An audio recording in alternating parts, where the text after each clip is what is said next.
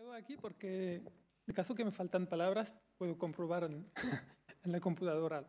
Eh, pues voy a, voy a, hablar un poco del, de los resultados de un proyecto que se llama SIMUD, porque en, en, el equipo nos interesamos mucho en el tema de bosque de plantación, intensificación, cambio climático. Y la intensificación puede ser intensificar la producción en un sitio, pero también intensificar la, la explotación forestal.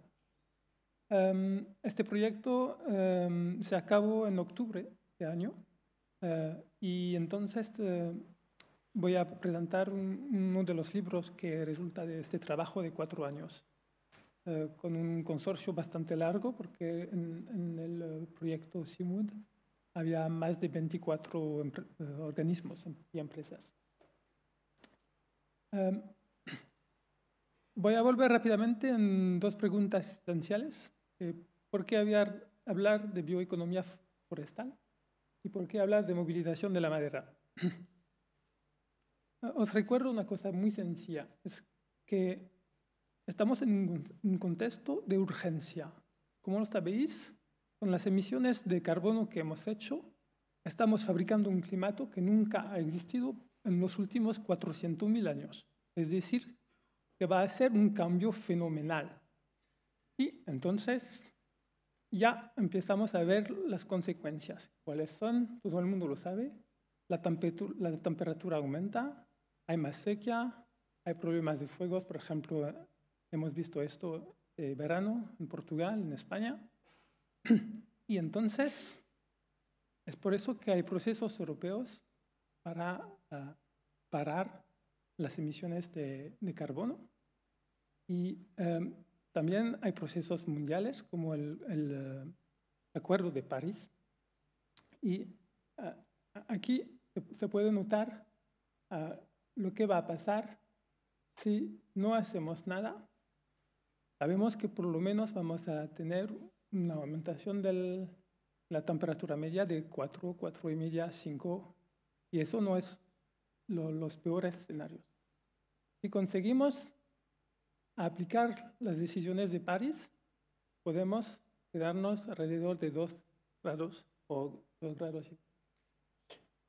Pero cuando digo que estamos en un, caso, en un contexto de urgencia, aquí es un estudio del, del, del GIEC.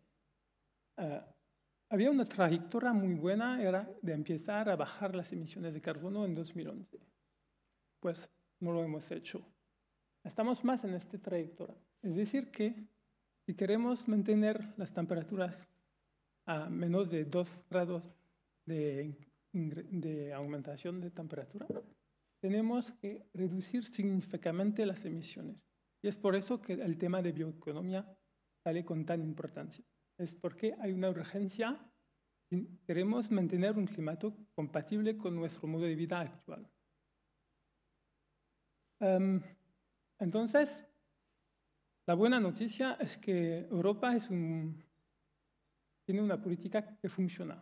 Es decir, que uh, cuando miramos los objetivos, entonces siempre es un poco complicado mirar a los objetivos porque una vez nos hablan comparando con 99, 99 uh, 19, con 90 a veces comparamos con las emisiones de 2005 y tal. Lo importante es de mirar a este gráfico. De momento, las emisiones, las emisiones de Europa están así. Uh, el primer objetivo que teníamos era este. Pero los objetivos que tenemos es que a 2050 casi no se emite nada. Hemos visto el plan de la empresa de, del sector de papelería para reducir las emisiones, que realmente está en línea con eso, pero hemos hecho lo más fácil, porque para, para reducir tanto en tan pocos años va a ser un poco difícil. Y um, la, el tema es que uh, tenemos que sustituir muchos productos que ahora se hacen uh, con emisiones de carbono uh, por uh, productos que se hacen a partir de, de material renovable. materias renovables, madera, pero también puede ser al gas, puede ser agricultura, hay muchas producciones renovables. Pero hay mucho que reemplazar. Aquí está el, el concreto, en, en, español debe ser hormigón, a los plásticos, al textil. Son más de 6 mil millones de toneladas de cosas a sustituir.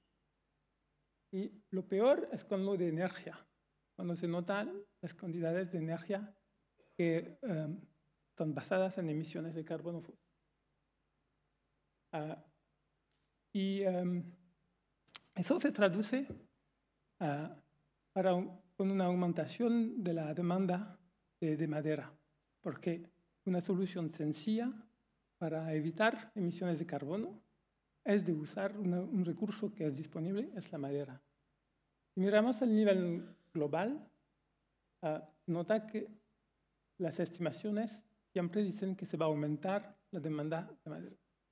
Uh, cual, cualquier tipo de madera, que sea uh, para energía, que sea para construcción, pues después hay escenarios que suponen que vamos a encontrar otros sistemas como hidrógeno o tal que van a, desarrollarse y van a reducir la demanda, pero en cualquier caso sabemos que hasta 2050 por lo menos um, necesitaremos mucha madera. Y la buena no. Y por ejemplo, aquí hay otro,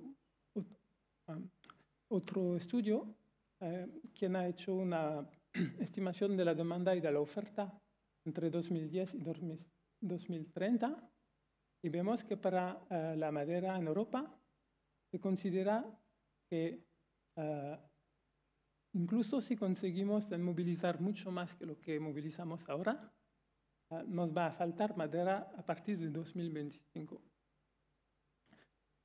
Pero hay mucha incertidumbre detrás de estos tipos de estudios.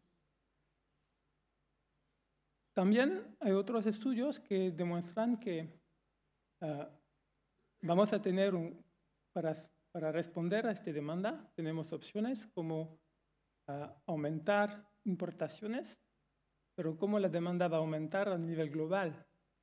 En todos países, en todos continentes, se va a usar más y más recurso forestal. Entonces, no se podrá importar tanto como se puede importar hoy. La política de Um, los ingleses, por ejemplo, que importen masivamente uh, madera para energía, a largo plazo no es sostenible. Incluso cuando se mira a opciones para producir más madera, nos damos cuenta que la parte azul, que es madera verde, la, la, la madera que se va a cosechar en el bosque, no representa tanto comparado con otras opciones que son uh, los tocones, uh, los uh, restos de, cortas. Eso es una manera de ilustrar que nos parece complicado cosechar más. Eso puede ser un poco una sorpresa. ¿Por qué? Porque cuando miramos a la superficie forestal en, Europa, ha, sido creciendo por, los, por el último siglo. Y cuando miramos a lo que se cosecha, uh, vemos que la parte entre el azul y el uh, uh, amarillo aquí, quiere decir que se cosecha menos que lo que se produce, el que lo que crece en el, en el campo.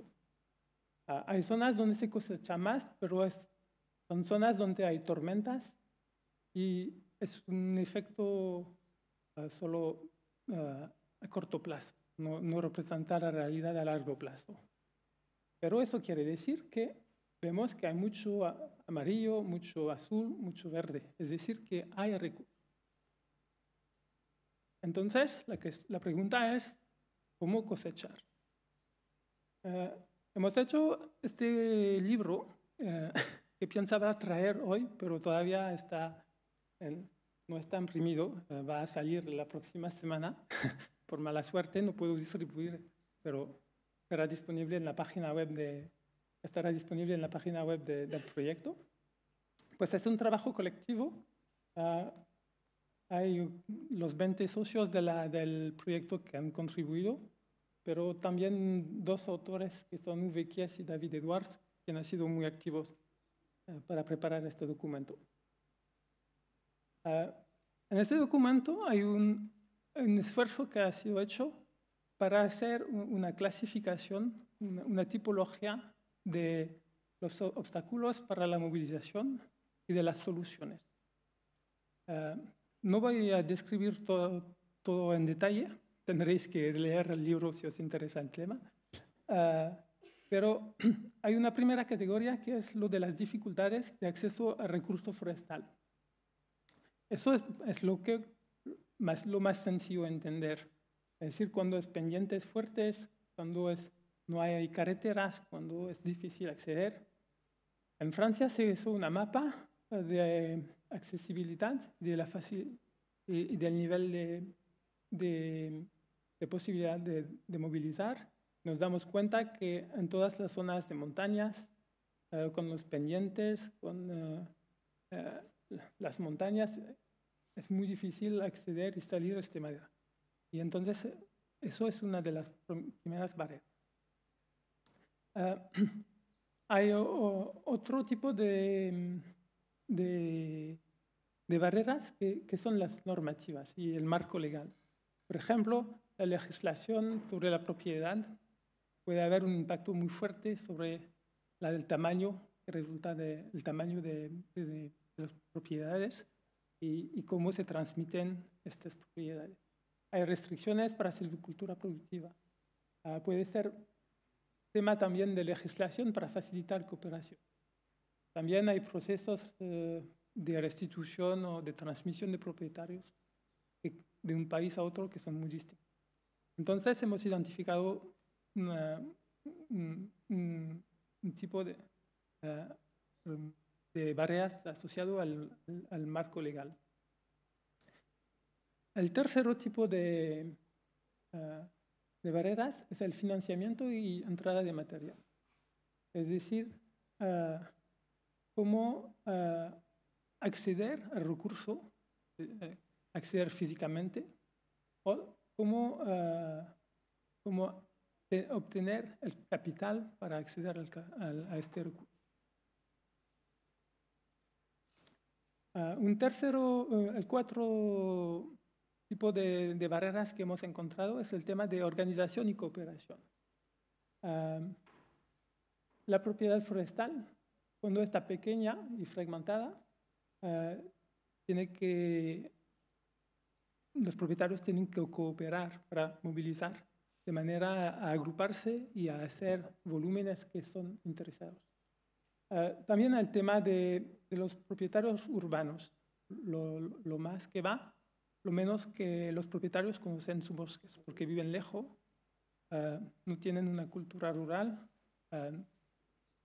realmente no conocen el interés de manejar el bosque. Hay tema de cooperación entre los propietarios dentro de la cadena de producción. Hay temas de mercado, eh, porque hay productos forestales que tienen un mercado muy débil, que puede cambiar, que puede uh, fallar a veces. Uh, y también el problema de, de, fluctuaciones uh, del mercado.